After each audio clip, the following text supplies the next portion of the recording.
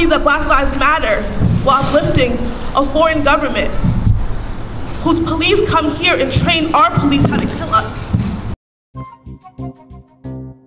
It put me to sleep. I was, I mean, I was exhausted by the time I finished reading all of it. 63 pages to talk about how do we get accountability for police and oversight and corrections.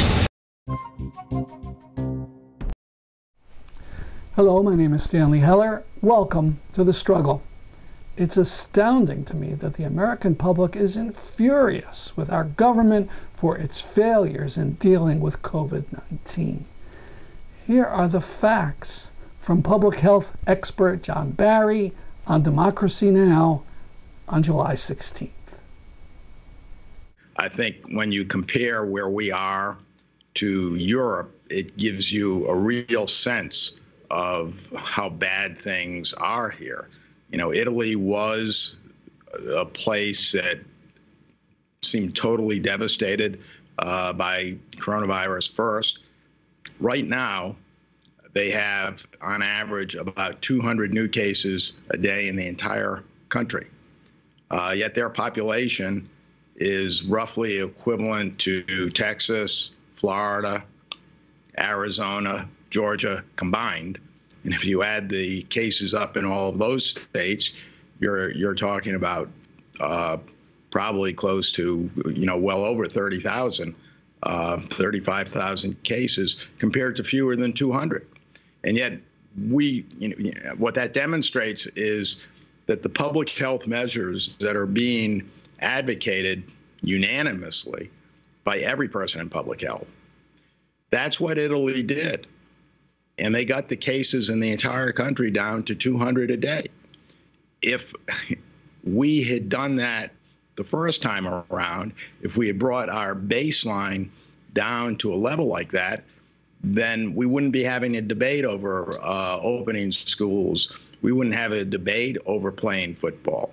Those things would be automatically going forward with precautions, and the economy would be operating at practically 100% by now it's gross incompetence or a deliberate refusal to face facts because of some spoiled people's ideas about freedom.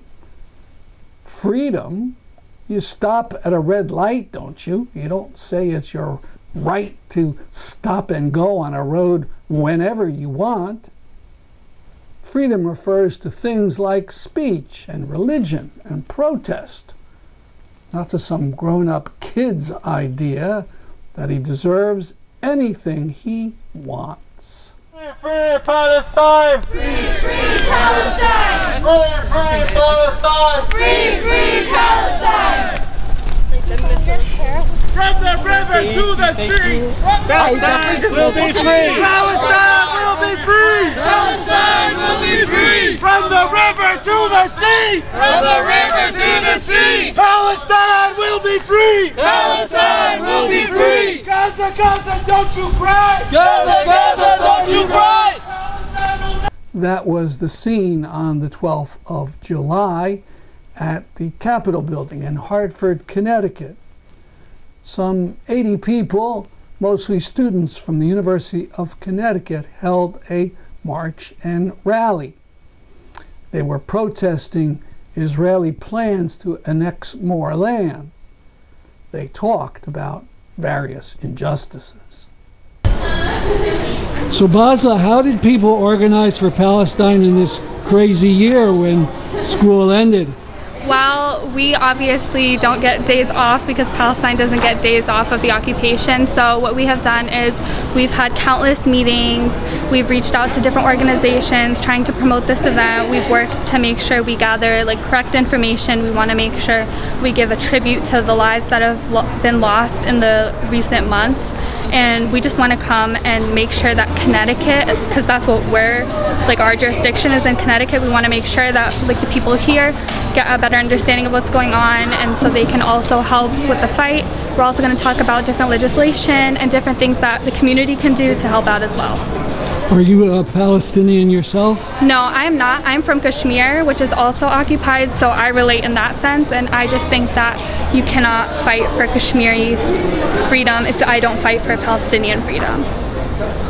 And were there events on Palestine at the start of the year before the pandemic? Yeah, so in the fall semester we had an event. Um, we also had John Fussell from Tree of Life speak as well as some student speakers and we also wanted to incorporate the culture and show how prominent the culture is and how it's not just like culture, it's a way of life and how people are still trying to find positivity and just get through everything. And do you know if you're going to have classes, physical classes in September or August? There are some classes that are in person as of now, but the majority of classes have been put online. And there's an option for students to take all their classes from home because they will not be giving all the students housing in the fall. So we don't really know as of now. And the, the question of the foreign students, that's up in the air too. Yeah, so that's another thing that's been a fight. Um, there's been a petition at UConn in an effort to allow um, in-person classes for those students so that they do not get deported because they are part of our community and they should not have to be rushed out of the country for something they cannot control. Thank you very much. Thank you.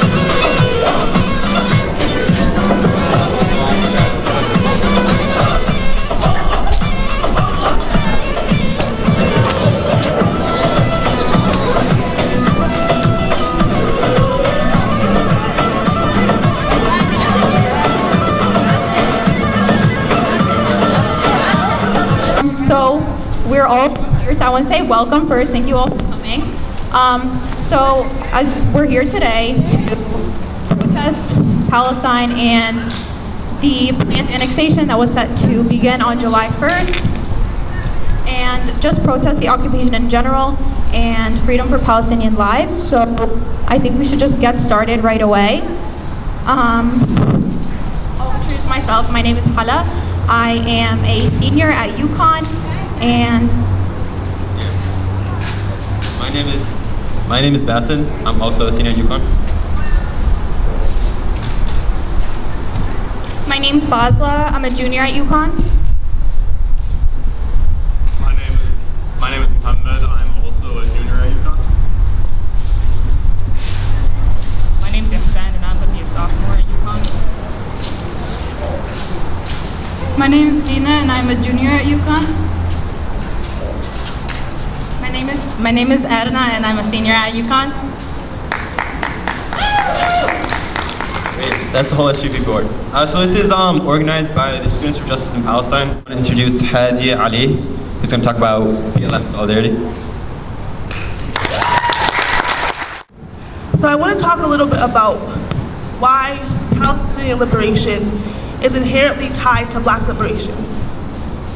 So for a lot of people, right now is a call to action for black lives. We understand that black lives matter. We understand that the police state and the prison state are oppressing black people. But it is impossible to truly support black liberation without supporting Palestinian liberation. In fact, our revolutionaries, Malcolm X, Huey Newton, Angela Davis, they all understood that the same white supremacy that is killing us here is the same white supremacy that is uplifting a colonial state in Palestine. It is the same white supremacy that allows Palestinian children to be imprisoned and tortured, and for Palestinian land to be stolen and occupied. And so if you do not support Palestine, you cannot support black liberation. You cannot believe that Black Lives Matter while uplifting a foreign government whose police come here and train our police how to kill us, whose police come here and say, this is how you steal from them. This is how you murder them and convince everybody it's okay. And so the fight for Palestinian liberation and the fight for black lives is intrinsically the same exact fight. If we allow a settler colonial state, if we allow white supremacy to steal Palestine, to try to erase its people and culture, and to try to uplift capitalism over lives, we are accepting the same fate here. And in fact, as Americans, speaking specifically to African Americans, a community that I'm a part of, we have a duty because our tax dollars are funding that genocide.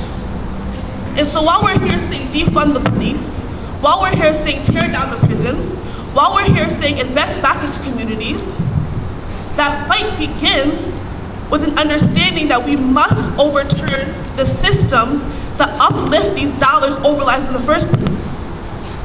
If we're going to boycott police officers, if we're going to boycott prisons, if we're going to boycott prison laborers, we have to, at the very least, the very least that we can do, to subscribe to BDS. It's the very least that we can do. To say that, yes, my tax dollars, I have no control over that. But I will not be a willful funder of occupation. I will not be somebody who is complicit in white supremacy abroad. If you are not here for transnational liberation, you are not here for liberation of any people. Because as soon as you legitimize Israel, as soon as you legitimize murder of people who don't look like you, you're accepting the same fate for you and your communities here.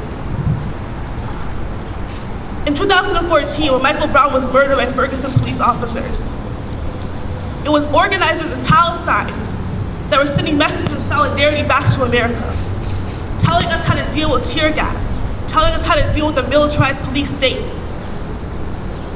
When the Black Panther Party was organizing, it was organizers in Palestine and they reached out to and talked to about mutual aid. Palestinians live under the worst imagination of the carceral state possible. And so our people, black people, understand that our liberation is tied and therefore our struggles must be tied. It is not historical, it is now. In the weeks that just passed, when George Floyd was murdered, Breonna Taylor was murdered, a man named Ahmed Al was also murdered in Palestine. And it's the same exact narrative of him being violent, of somebody fearing for their lives, of somebody fearing for their occupation, that has allowed them to justify their murder here, the same way they justify our murders here. So the fight for black liberation, the fight for Palestinian liberation is transnational. It goes across borders, it goes across ethnicity, it goes across religions. Because if our people are gonna get free, we gotta start talking to each other now. White supremacy is already working together. The same way that America, as a settler colonial project, sends money to them, in the same way they send their police officers here to teach ours how to kill people, we must begin organizing across borders. We must begin investing ourselves in the lives of people who do not look like us. Because without that, none of us will be free. And so when you leave today, I strongly urge you, if you're going to organize for a prison boycott, contact SJP. They have their resource for us. Contact whoever local people you know who are fighting for Palestine and say, how can we do this together? How do we force our institutions to decolonize? How do we push our people towards transnational liberation? Because once we're together, nobody can stop us. So one more time, y'all. We have a duty to fight for our freedom. We have a duty to fight for our freedom. We have a duty to win. We have a duty to win. We must love each other and protect each other. We must love each other and protect each other. We have nothing to lose but our chains. We have nothing to lose but our chains. Thank you. Passing through checkpoints just to get from Ramallah in the West Bank to Jerusalem can sometimes take hours when it should only really take 10 minutes. I've seen young Muslim men being turned away by Israeli soldiers from the doors of Al-Aqsa simply because they appear as if they are a threat. Yet Israeli forces storm Al-Aqsa, attacking worshippers every now and then simply because they can and no one is stopping them. When I see Israeli settlements built on Palestinian land, I can't help but think about whose home there was there or whose land it was. Or when I walk through the streets of the old city, I see homes that belong to Palestinians that were there well before 1948. I see shops in the old city struggling to make ends meet because there is so little left. I've seen children playing along border walls in hopes that one day they can have they can play on the other side. I've seen Arabic writing being removed from street signs in an attempt to ethnically cleanse what is left. I've seen traditional Palestinian and Middle Eastern foods being labeled as Israeli culture.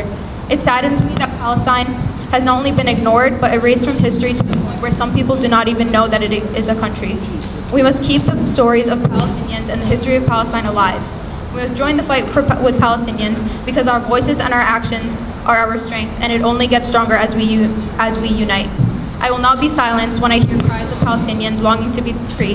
Do not underestimate the blood of a Palestinian as it comes with immense pride, strength, and resilience. Palestinian poet Mahmoud Darwish said, on this earth, on this earth, there is that which deserves life, and that is exactly what Palestinians are fighting for, fighting for their life in hopes of seeing the country they know flourish again. Thank you. When I went there the second time, I was a junior in high school. And up until then, every single day I'd come home and I'd ask my parents, Hi, how's, how's Palestine? How's our family? How's all of this? And every once in a while they'd say, Hey, do you remember your cousin Ahmed? Remember your cousin Alauddin? They're in prison.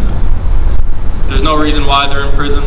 The Israelis just decided time to imprison them. They look like they're scary and they look like they'll destroy our country. There's no right to right to peace there. They just get arrested.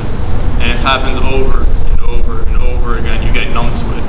I don't know how many times my parents told me my cousins have been arrested. I don't know how many times more I'll be I'll hear about it. And I'm sure it'll be in the at least hundreds, at least tens. But I'm hopeful. I'm starting to not feel as numb to this sense of arrestion and a sense of oppression anymore. I'm starting to see hope finally inside the room in the, in the air of Palestine. So now let me talk to you about the second time I went there. I was about 16, 17, and now you see the terror.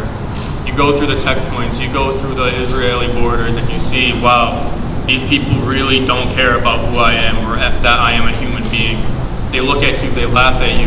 IDF soldiers are on the border, and they say with a smile, welcome to Israel. So appalled. It hurts me, it makes me feel like an animal to them.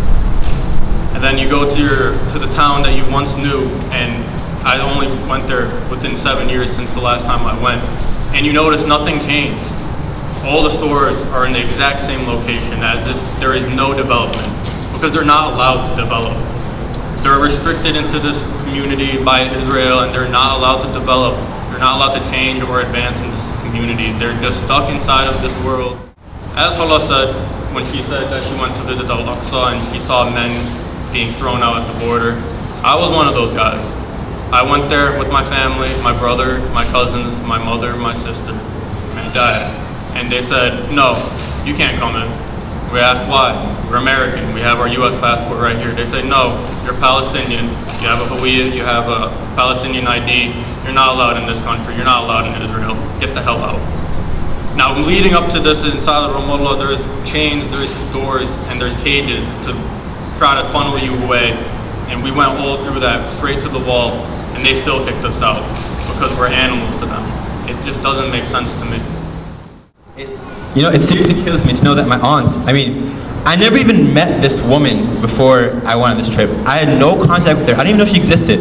The woman who, the woman who took me in, fed me, took me places, bought me things. She has to live in a world where she can be go walking outside doing nothing and be, being out just for being Palestinian, where she has no rights, no voter rights in Palestinian, where any single day, at any single time, a construction team come out and show up outside her door and say, get out, we're making a settlement out of this place. Lose, lose your home and everything. So, I mean, this stuff happens. As you see it on videos, you think like maybe it's staged or anything. No, this stuff happens. I see it in front of my eyes when I went there. Um, it's all just random acts of aggression just to instill a sense of fear. But the one thing, the one thing that keeps me going, knowing that we have counters this fear, I never realized it until my cousin right next to me, she was like standing up to this group of Israeli soldiers, preventing me from going, preventing us from going to Al-Aqsa Mosque just to practice our own religion. But the one thing that keeps me going is knowing that Palestinians are, they're strong, they're so strong, and they're proud of their land, their culture, and everything. Being Palestinian, it's a, it's a mindset. You know, it's a, it's a metaphor for the struggle, the resistance, the never back down mentality that we carry in our own lives. Now, a non-student, Gufran Alababidi, is president of the Tree of Life Education Fund. I am here today to share a story, a story of a holy land, the land of Canaan, Palestine. As Mahmoud Darwish, a Palestinian poet, says, it was called Palestine, and its name will continue to be called Palestine. At one time, it was a place where Muslims, Christians, and Jews lived together in peace and harmony. I personally visited, visited Palestine at least six times, but in none of those visits I was able to recognize that peace and harmony that I always heard about. I saw the checkpoints I went through them every time I wanted to pray at the Aqsa Mosque, as well as every time I wanted to travel from one city to another. I have seen the struggles in my own eyes, and I have witnessed the injustice as well. And I have felt the anger burning inside my heart, reminding me of the painful struggle for the human rights of the Palestinian people.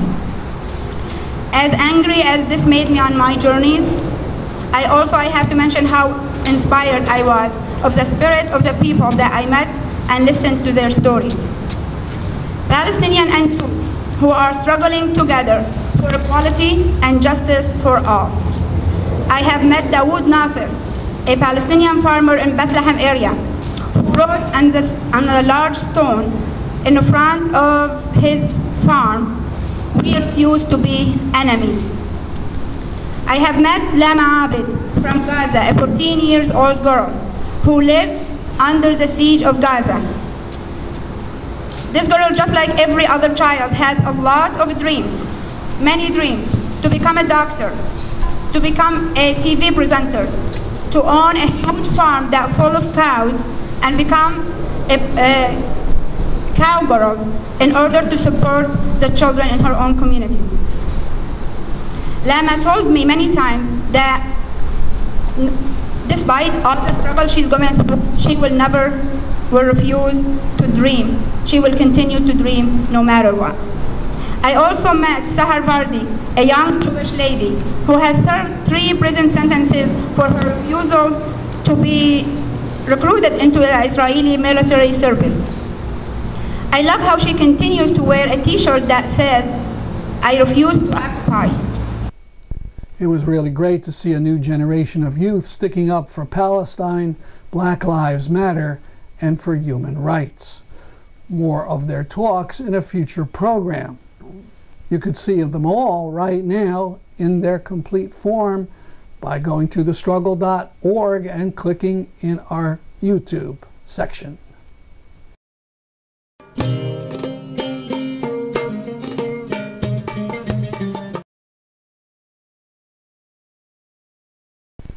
We have to cut away because there's a special session of the Connecticut legislature to deal with the demands of the public who are supporting Black Lives Matter.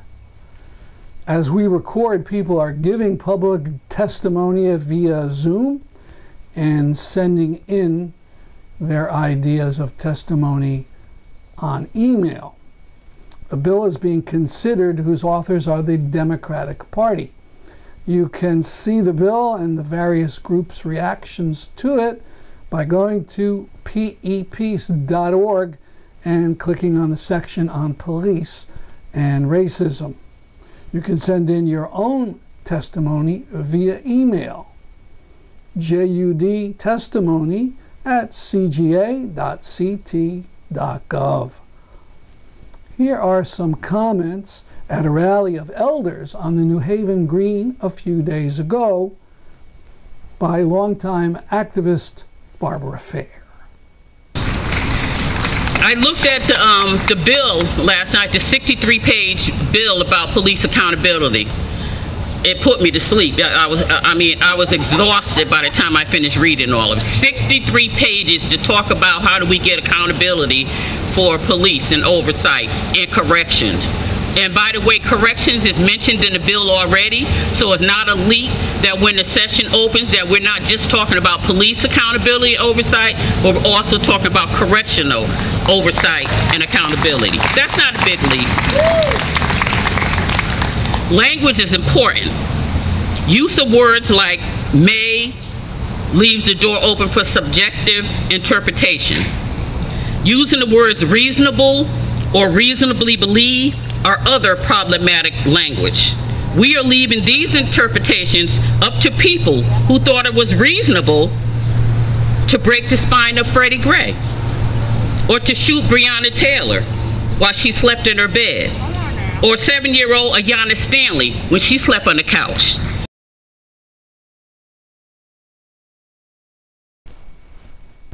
Promoting Enduring Peace sent in its own testimony about the bill One of the things PEP proposed was to ban the use of police dogs for crowd control.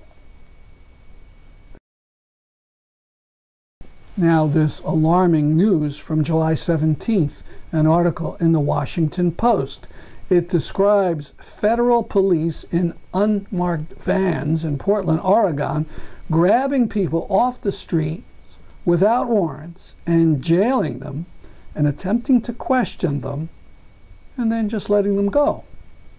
This is Trump's threatened crackdown, and Portland is its test case.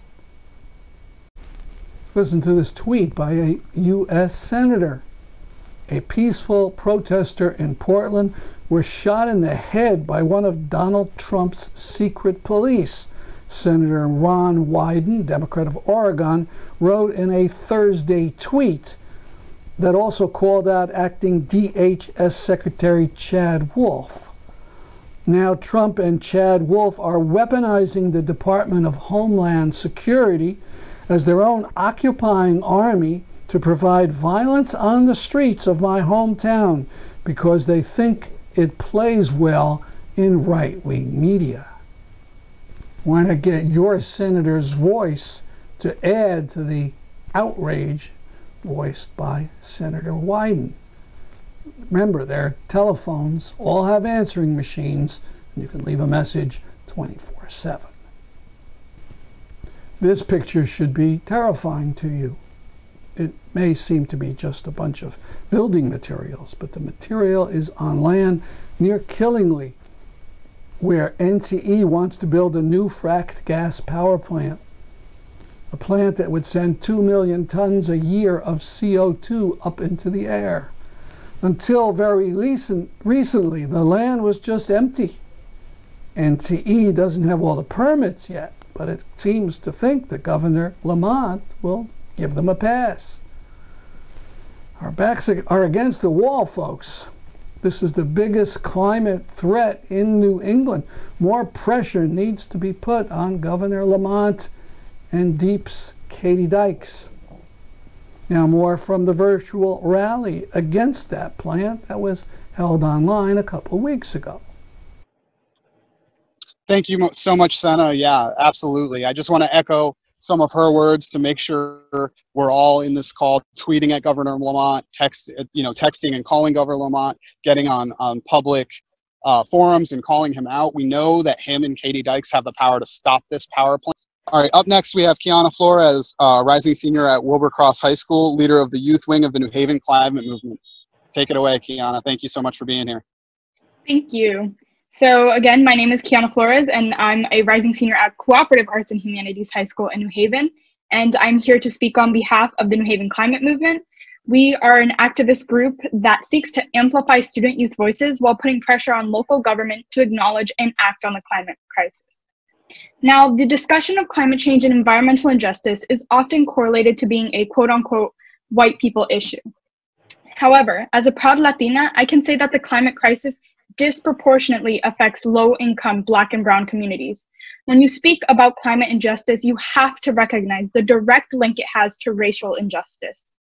Issues such as pollution, shortage of fresh foods, and climate induced natural disasters hit those marginalized communities first and the hardest. When you accept the fracking of gas, you are accepting how this gross process not only puts the health of local communities at risk, but destroys the land and ecosystems around it. We need CT to ban fracking and stop this proposed Killingly fracking infrastructure. If CT can take this first step, we can then open the conversation to renewable energy, which is not only healthier for us, but is proven to be more equitable and affordable to our communities. Gas fracking needs to become an energy of the past, and CT can become an example to other states and legislators that fracking gas is no longer tolerable in this day and age. Climate crisis mitigation should be at the top of our priority list as it is our very own present and future at risk. Renewable energy needs to be CT's next step. Currently, New Haven Climate Movement has an electrification committee, committee working on making New Haven less dependent on fossil fuels and more focused on electrifying buildings and vehicles. New Haven Climate Movement is also working on creating an educational or ordinance that will have set climate related requirements to the schools of New Haven such as a mandated number of hours to be allocated to teach about the climate crisis throughout subjects. We believe that students should be given the opportunity to be educated on environmental issues and how it affects their everyday lives. Activism and change start in our schools, and it's time we acknowledge and give our students this chance to make a change. When we protest the fracking of gas, it's not just about Killingly CT. It's about setting a precedent to the state of Connecticut that we will not tolerate the destruction of our land and public's health. We're here to send a message of climate justice to signal the desperate need for strong, urgent action that will transform CT into a greener, more equitable state. That's our program for today. Remember to keep safe, but keep active. I'm Stanley Heller for The Struggle.